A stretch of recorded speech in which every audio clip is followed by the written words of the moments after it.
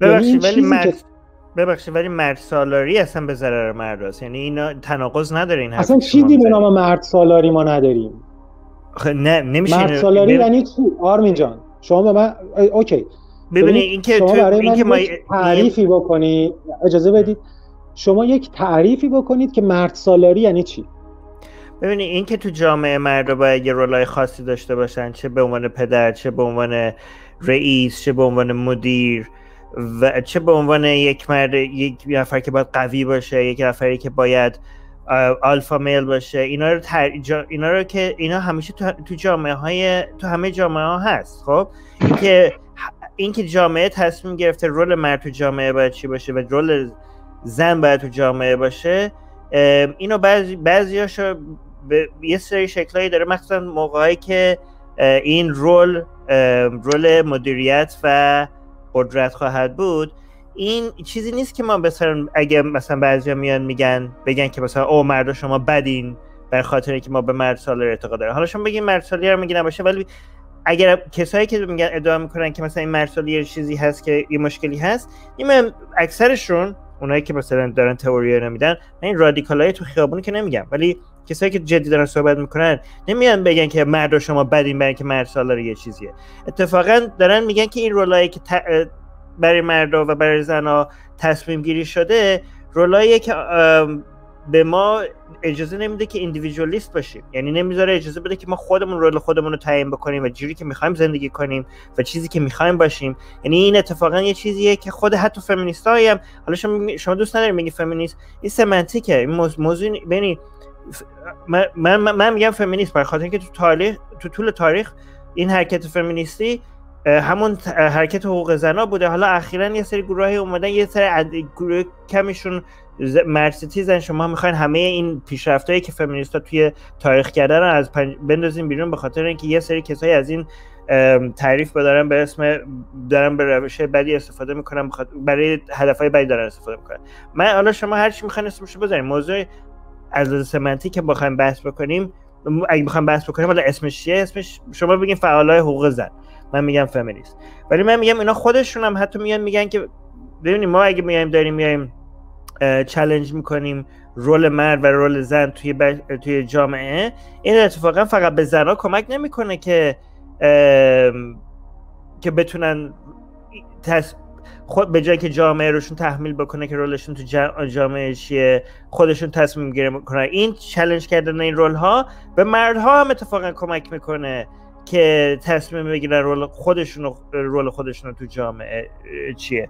یکی این یکی این که ولی این که ما میگیم که مثلا آ مرد سالاری وجود نداره این وجود نداره اینا میگن ما شما دارین هم کاری می‌کنین که این فمینیست های مثلا مرستیز دارن می‌کنن برای اینکه من به نظرم این هیچ تناقضی بین فعالیت برای حقوق مرد و فعالیت برای حقوق زن وجود نداره ولی مشکل اینه که تو همه تو هر دو این گروه ها یه کسایی هستن مثلا توی قسمت کسایی که برای فعالیت حقوق زن می‌کنن میان میرن مرد ستیزای توی زن ستیزای توی. کسایی که فعالیت برای حقوق مرد می‌کنن رو پیدا می‌کنن. و کسایی که برای حقوق برای حقوق مرد دارن فعالیت می‌کنن میرن میرن مرد ستیزای بین این فعالان حقوق زن پیدا می‌کنن و میان میگه که نگاه کنید اینا چقدر خطرناک کنار چقدر همه چی رو میگن ما بدیم. اونا میگن ای نگاه کن اینا چقدر میگن همشون من البته من از شخصی باید بگم و من با اینکه جای برام به نظرم مهمه که فعالیت برای حقوق مرد بشه ولی خیلی از این تجربه شخصیه. برای آمار نیست برای همین ممکنه کاملا اشتباه باشه. من توی گروه های فعالان حقوق مرد خیلی بیشتر زن ستیزی دیدم تا مرد ستیزی توی توی گروه های فعالیان فعال حقوق زن. یعنی جوری که درباره فعالان حقوق زن صحبت میشه خارج از محیط هایی که فعالان حقوق زن هستن خیلی بدتر از واقعیته. یعنی وقتی بریم تو گروه حقوق زن ها یا کسایی که خودشون رو میگن فمینیست وقتی بریم دارن چی میگن مرد ستیزی خیلی کمتر دیده میشه تا اونجوری که بقیه دارن دربارش رو صحبت می‌کنن. ولی وقتی من میرم تو توی گروه های فعالان حقوق مرد وقتی میرم تو گروه هاشون ببینم اینا دارن چی میگن زن ستیزی واقعا شدیدا زیاده. من شاید, شاید, شاید, تجربه شخصی من خیلی ملاک نباشه ولی شما بفهمید آرمین جان جسارته. شما نتونستی بحث رو حول یک محور نگه داری. من از شما خواستم مرد سالاری رو تعریف کنی تا بعد ببینیم اصلا وجود داره یا نداره. میشه لطف کنی یه بار دیگه از نظر خودت فقط به این ترم توجه کنی که مرد سالاری یعنی چی؟ مرد سالاری اونجوری که من متوجه هستم که ممکن اشتباه باشه شما ببین دو تا لغت کنار هم. یه مرد یه سالار. ببینید جوری نه ببینید نه نه شما از من سوال کردیم من خیلی جوابشو بدم. ببینید من جوابشو البته دادم شاید خیلی واضح نبود. برای اینکه جوری که ما برداشتمون از واژه ها همیشه اونجوری نیست که منبع یعنی این لغت ها رو اینجوری در بیاریم ببینیم معنیش چیه. ببینید مثلا شما میگی فمینیست. اگه فمینیست رو دوست نداریم برای اینکه اصل این لغت معنیش اینه. خب بعضی موقع اصل ترجمه اصلی لغت از مفهومی که ما ازش می‌گیریم خیلی فرق داره. خب مرد سالاری برداشتی که تو جامعه ازش میشه حالا مثلا میگه آ ما اگه مرد رو بذاریم کنار سالار معنی مرد سالاری اینه. خب آره اون یه من... اینجوری ممکنه بخواید ترجمه کنین. خیلی لیترالیست میشه اونجوری. ولی برداشتی که از مرد سالاری وجود داره اینه که توی ما توی اکثر جامعه هایی که وجود داریم رول هایی که برای مرد تعیین میشه بیشتر از بیشتر تو مقام قدرت و تو مقام تصمیم گیری هست تا رول هایی که برای زنها تعیین میشه. این معنی خب سالاری اونجوری که من برداشتمه که می‌تونه غلط باشه. شما بیاین بگین نظر نظرشون. یه چیزی رو من فکر می‌کنم در این تعریف شما شما نادیده گرفتی. یه مثال می‌زنم. شما با دوستات میری پیکنیک میری کمپینگ. خب؟ مثلا فرض کن 20 25 نفری. توی این 20 25 نفر شما فرض کن 20 22 نفر مثلا روتین کارهایی که مربوط به خودشونه رو انجام میدن. خیلی ایدئال فرض کردم. دو یا سه نفر هستن حواسشون مثلا به این هست که از جاده منحرف نشید حواسشون به این هست اگر کوله کسی سنگینه اون رو مثلا کمکش کنه کولش رو سبک کنه. حواسش به این هست که وقتی می‌خواد چادر بزنه کجا چادر بزنه؟ وقتی می‌خواد آتیش روشن کنه بره چوب جمع کنه. وقتی موقع غذا میشه مثلا چه می‌دونم آتیش رو را بندازه غذا رو گرم کنه حواسش باشه به همه به یه اندازه غذا برسه و این خب روز اول که این اتفاق میفته روز دوم گروه به صورت اتومات شروع می‌کنه حرف این دو سه نفری که مسئولیت رو به عهده گرفتن رو گوش می‌کنه و عملا رهبری گروه رو تفویض می‌کنه به اینها. یعنی می‌بینه اینها آدم هایی که بیشتر تلاش می‌کنن آدم هایی که مثلا به موارد بیشتر آشنا هستن بنابراین تصمیم گیری نهایی یا اون به اصطلاح رهبری گروه به اینها واگذار میشه. حالا بیا از نظر تاریخی تکامل تاریخی ما این مسئله رو یه نگاهی بندازیم مردها در طول تکامل تاریخ به لحاظ فیزیولوژیک بدنشون قوی تر شد. چرا؟ چون از قار رفتن بیرون شروع کردن شکار کردن دنبال شکار گشتن چوب جمع کردن آتیش درست کردن نه نه این ببخشید خب اجازه بده توضیحشون رو بدن آرمین. اوکی باشه. باش از از زیستی ولی این اشتباهه. مردا پستانداران که قبل از اینکه انسان به وجود بیاد از از بدنی قوی قبل از اینکه اصلا انسان یه حیوان بشه پستانداران اکثر مرارشون از زناشون قوی تر بوده. جنس نر قوی تر بوده بله. جنس نر همیشه قوی تر بوده دیگه. حالا به لحاظ فیزیولوژیکی. من اومدم آوردمش بعد از در واقع انسان شدن. در واقع اون انسان قارنشین رو دارم مطرح می‌کنم. حالا قبلش هم درسته. شما درست می‌کنم آره اون تاثیر نداره شما درست تک... بله بله. تاثیر تاثیر که داره. حالا چرا تاثیر داره؟ برای اینکه تکامل تاثیر گذاشته دیگه. ولی قبلش خیلی بله.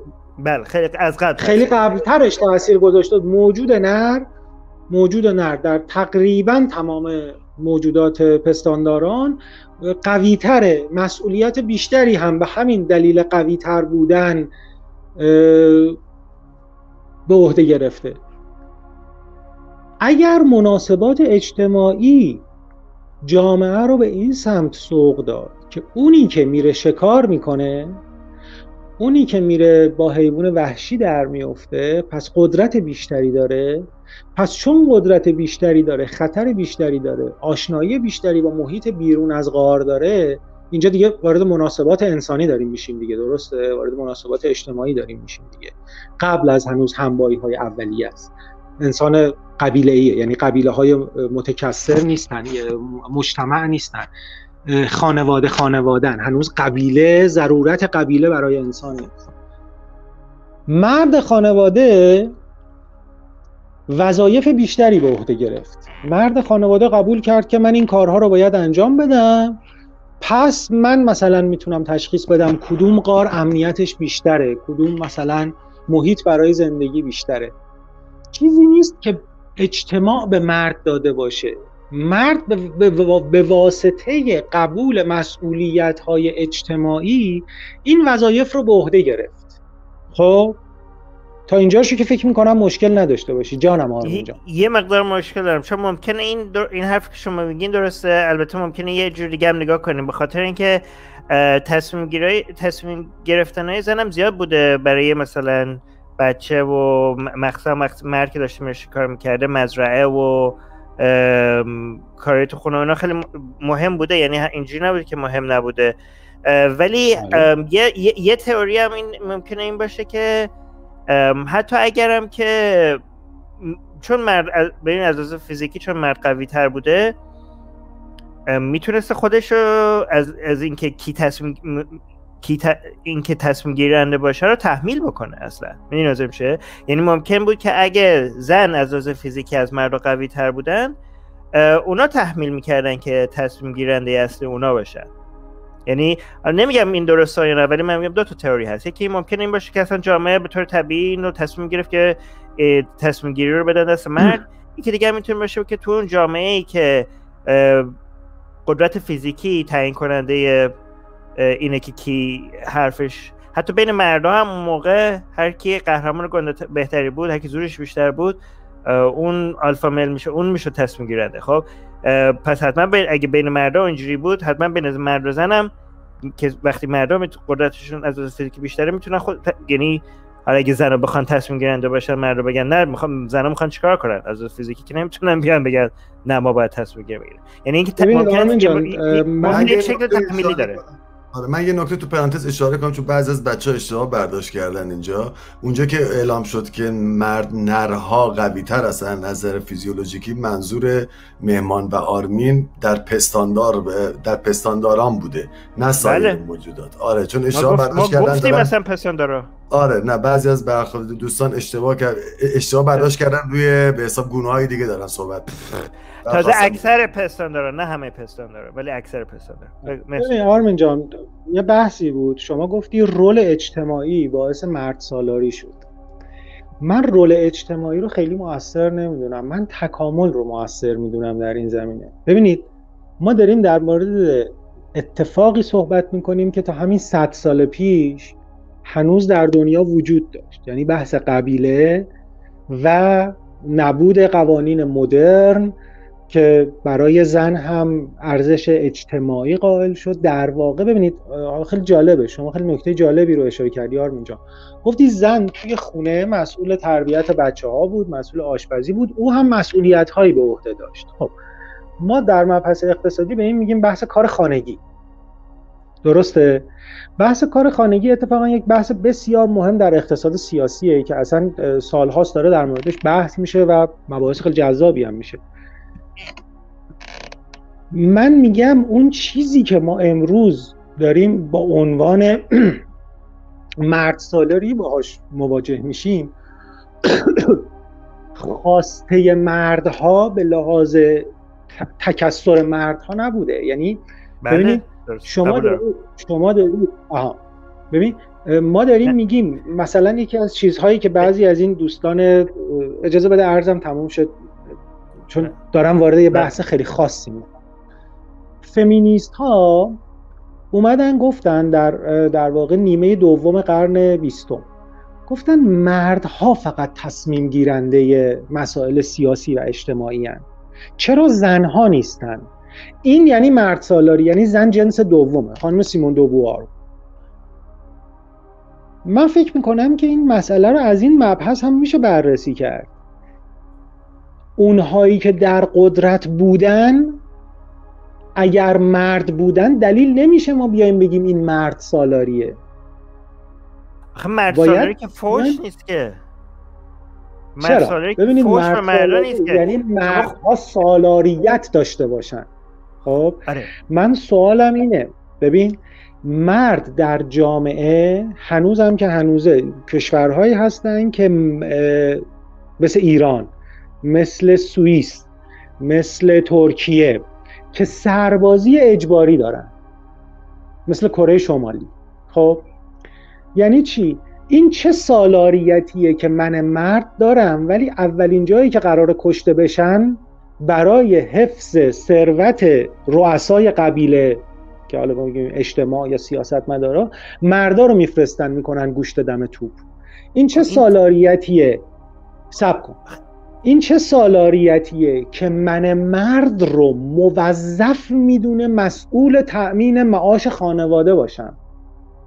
یعنی من برم کار کنم نیازهای اجتماع نیازهای زنم. و بچه هام رو من موظفم تعیین بکنم. خب؟ این وظیفه قانونی دونستن چه سالاریتی داره به من میده؟ این طبیعی به خاطر طبیعت خودتون گفتین هستن نه به خاطر یه چیز خب بذارید من دقیقا. خب یه همچین وظایفی به دوش مردها گذاشته شده. خب. از اون طرف یه سری امتیازات خیلی مختصری. مثلا اومدن گفتن مرد رئیس خانواده است. خب چون رئیس خانواده است می‌تونه مثلا در مورد ازدواج دخترش هم تصمیم بگیره. خب, خب من یه اوکی. این سالاریت نیست این در واقع یه چیز کوچولو دادن برای گرفتن جون و عمر و تمام تلاش و زندگی اون مرد است. بفهم. خب ببینین این هیچ کدوم تناقض نداره با اینکه مرد سالاری ببینید شما اگه تعریفمون از مرد سالاری اینه که مردا بیشتر از زنها تو مقام هایی هستن که تصمیم گیری می‌کنن خب؟ اگه این تعریف مرد سالاری باشه مرد سالاری واقعیت داره. حالا شما یه تعریف دیگه دارین خب اون با اون تعریف واقعیت نداره. خب؟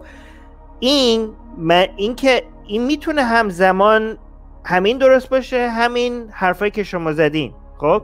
یعنی به خاطر اینکه از لحاظ ببینید ما اصلا طبیعت مرد ستیزه. خب؟ طبیعت مرد ستیزه.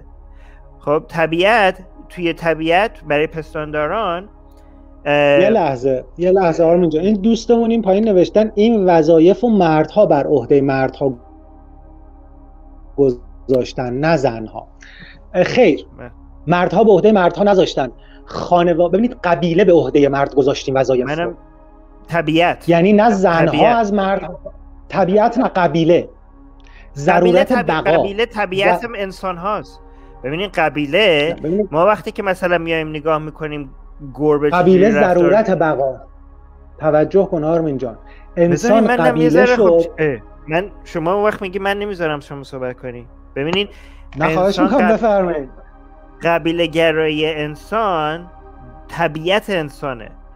خب جوری که آهوها رفتار می‌کنن جوری که گربه ها رفتار حیوان های سوشوال خب؟ حیوان هایی که جامعه دارن. درست میشه؟ خب؟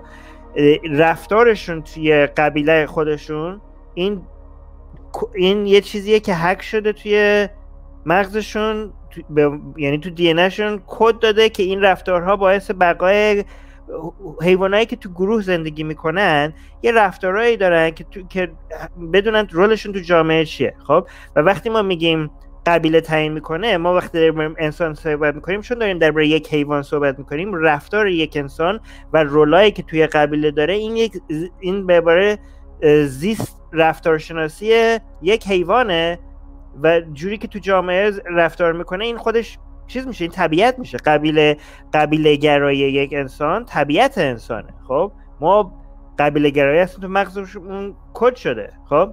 ولی من داشتم اینو می‌گفتم. ببینیم من میگم که مرد حالا ما اگه بگیم که مرد اگه حتی اگه مرد اگه تصمیم گیرنده باشن خب؟ با خاطر یک حقیقت های طبیعی اینکه مثلا ما از فیزیکی قوی تریم خب؟ ما حتی اگه تصمیم گیرنده هم باشیم نمیایم زنا رو بفرستیم جنگ.